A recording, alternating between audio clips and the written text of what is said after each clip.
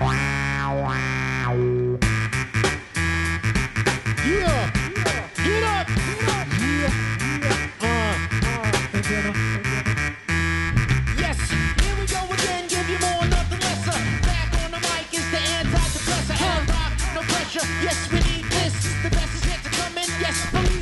Welcome back to Laying Down the Law here on 1250 ESPN San Antonio and now on 94.5 FM. I am James Pledger, sitting in for Steve Foster, along with Rod Chico Tanner, the AAU. What's going on, Rod? Hey man, it is uh, a beautiful day outside.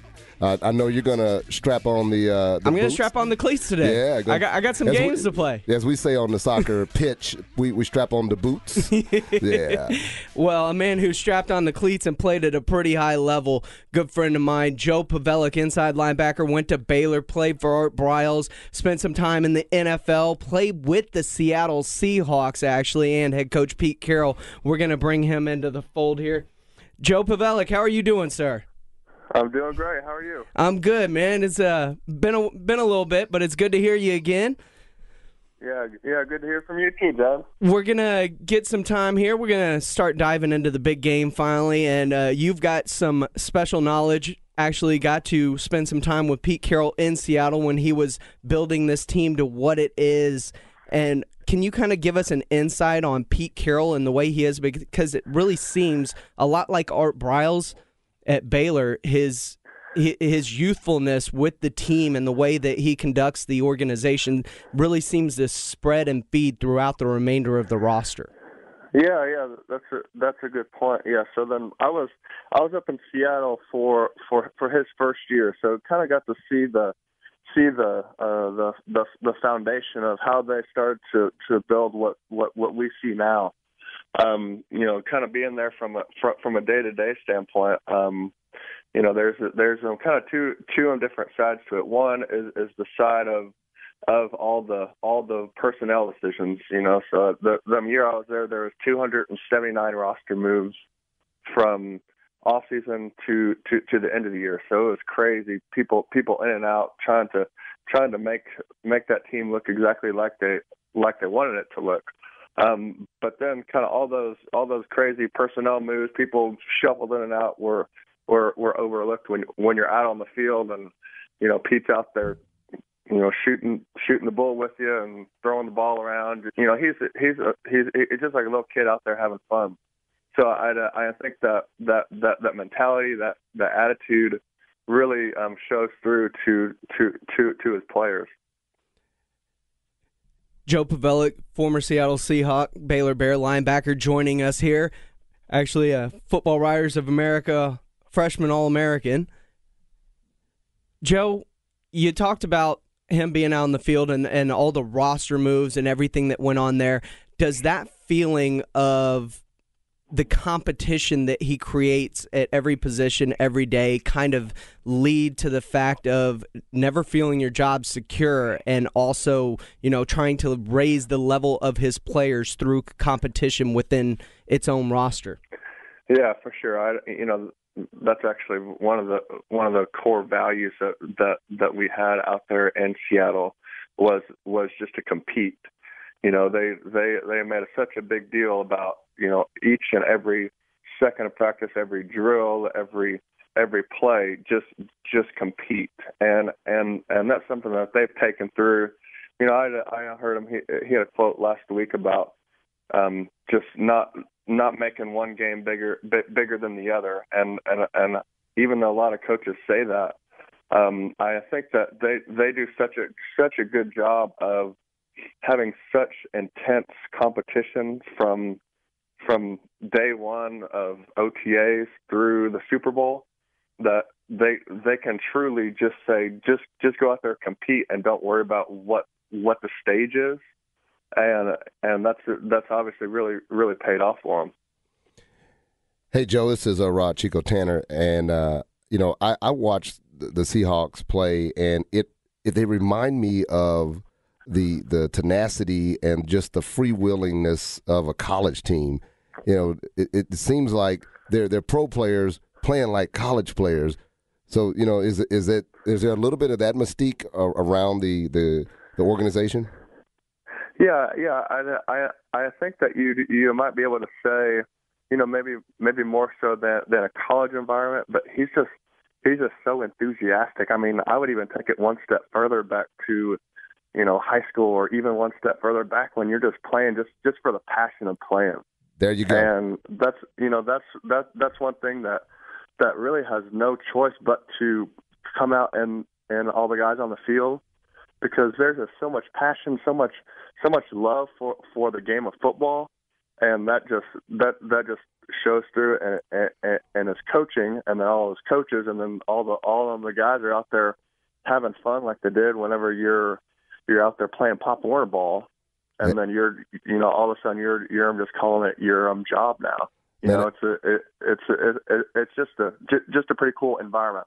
And, that, and you know that's crazy because uh, I know you went to Smithson Valley, and you know I'm a Judson Rocket.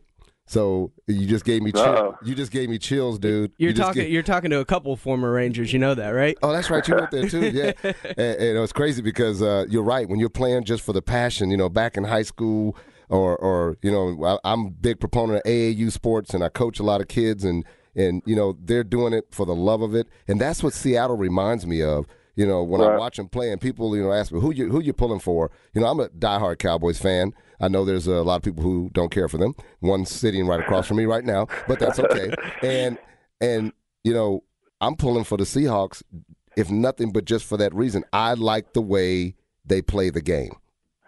And and that's that's actually one of the things that that um that they they stressed up there. They they they have a sign that you you you you you almost tap in, right? There there's a sign that says all in, and it's kind of the what what they they portray as.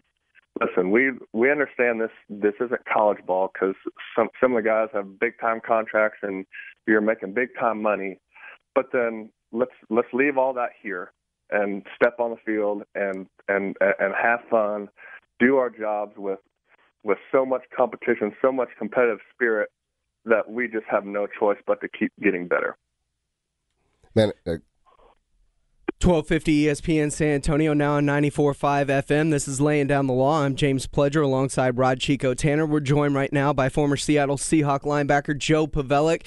And Joe, what are your th- initial thoughts on this game? Because it is contrasting styles between head coaches in the way that they do things and the way that they get things done. The youthful energeticness of a Pete Carroll versus the kind of corporate way of doing things over in New England, to put it, I guess, politically correct.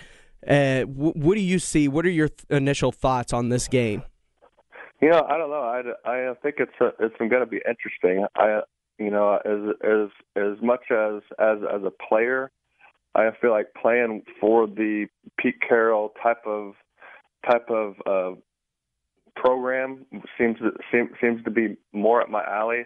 I mean, how how can you really knock or say anything negative about a a, a corporate structure, so to speak, of a of a of a Bill Belichick that they they just keep winning, right? I mean, I don't. I, I, I think that it's it's going to be interesting, and and also we we know that that Seattle's been consistent. You know, from from a defensive standpoint, they're always going to be flying around.